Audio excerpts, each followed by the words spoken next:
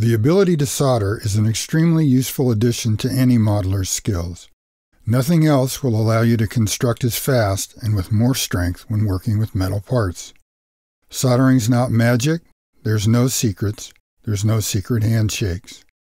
To have reliable success with soldering requires that you're soldering with the correct materials, you're using the correct solder and flux, and you have an adequate heat source. Not all metals are good candidates for soldering. Brass, copper, and some steels are usually the best. The solder that I use is 50-50 tin lead solid wire solder. I prefer it over 60-40 because it's a little stronger and seems to flow better. 50-50 melts at about 5 to 10 degrees hotter than 60-40. Successful soldering requires that all the surfaces need to be clean. But no matter how clean, when metals are heated, the surface oxidizes and will prevent proper heat transfer, resulting in a cold solder joint. Flux cleans the oxidation and keeps the metal clean while soldering, as well as aiding the flow of the molten solder. I use an acid flux, and my favorite is Nokorode. Using separate flux rather than a cored solder allows maximum control over where the solder flows. In order to take advantage of this feature, I keep a syringe loaded with flux so that I can put a small amount of flux exactly where I want it. Unlike rosin core solder that's used for electronics, acid flux does a better job of keeping the parts clean while soldering, cleans up easier after soldering, and is less corrosive on soldering tips. Soldering can be done with a torch or an electric soldering machine, but for the purposes of this video, the heat source I'll be referring to will be an electric soldering iron or a soldering gun, since they are by far and away the most common, affordable, and easy to use. Regardless of the type of heat source, it needs to provide enough heat so that all surfaces to be soldered are raised to the melting point of the solder. This principle can be frustrating for the novice. Soldering electronics involves mainly uniform small components, but in modeling, we may be soldering something as fine as photo etch or thin wire to a piece of brass sheet. It doesn't take much to heat the photo etch, but it'll take considerably more heat to raise the temperature of the brass sheet. And depending on how large the sheet, or how you have the parts jigged together, you might have created a giant heat sink. For instance, take a look at this jig I made to hold the components of the rear suspension mount on this 112 scale McLaren. The components are just rod stock, but they're screwed down to an aluminum block that acts like a terrific heat sink, so in this case I needed a lot of heat. Soldering irons like this are designed mainly for the electronics field where the componentry is small and the temperatures are critical. It's a nice setup for a lot of small modeling tasks, and if you're mainly working with wire and photo etch, this type of iron would be my first choice. For larger parts, you'll frequently need a larger heat source like this soldering gun. In all honesty, I do the majority of my soldering with a soldering gun like this, and in fact, all the soldering on these parts was done with this gun. The tip can be easily modified by filing it to a smaller size with a more acute angle to fit into tight spaces better. What's nice about the gun is that it can be left plugged in and heated up quickly only when I need it, and I keep it hanging under the bench where it's handy. Heat transfer is the one basic principle that governs successful soldering. In order for solder to flow properly, all surfaces must be heated sufficiently to melt and flow the solder. The result is termed an intermetallic alloy. In order to have proper heat transfer, everything in the process needs to be clean, and you need to have a sufficient amount of heat.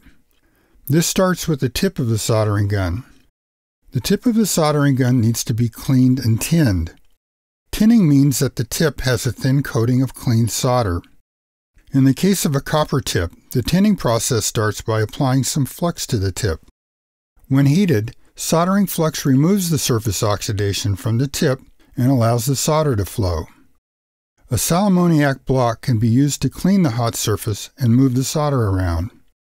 Any excess solder can be removed with a brass brush, and there's no need to be flinging hot solder all over everything like magic dust.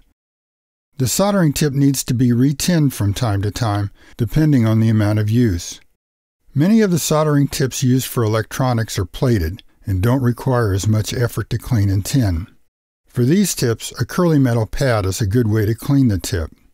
For temperature controlled irons such as this, using a wet sponge is not recommended because of the extreme changes in tip temperature when the tip is on the sponge. When you're through soldering, clean the tip and retin if necessary. This is a good habit to get into because it will preserve the soldering tip and leave the iron ready to go the next time you need it. A good way to get a feel for the way solder flows and the concept of heat transfer is just practice tinning some scrap stranded wire. Flux the wire. Then put the solder on one side of the wire and the hot soldering iron on the other.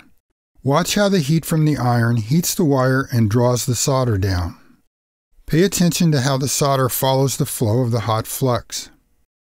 You need to keep in mind that the longer you heat the metal, the more it will oxidize. The flux is only effective for a short while, so you'll have a lot more success if you bring the pieces up to temperature quickly. This is why it is important to use an adequately large heat source. Trying to heat a large area or bulky piece with a dainty soldering iron will generally result in a lot of frustration because there will be so much oxidation that the solder won't flow and the result will be what's known as a cold solder joint. A good solder joint will appear shiny and the edges of the joint will blend into the surface of the metal. A cold solder joint will look like a blob and frequently have a dull, rough look. A cold solder joint also results if the pieces move while the solder is cooling, so it's important that the pieces be securely held together. There are any number of ways to hold the pieces together during soldering, from ready-made adjustable holders all the way to custom jigs.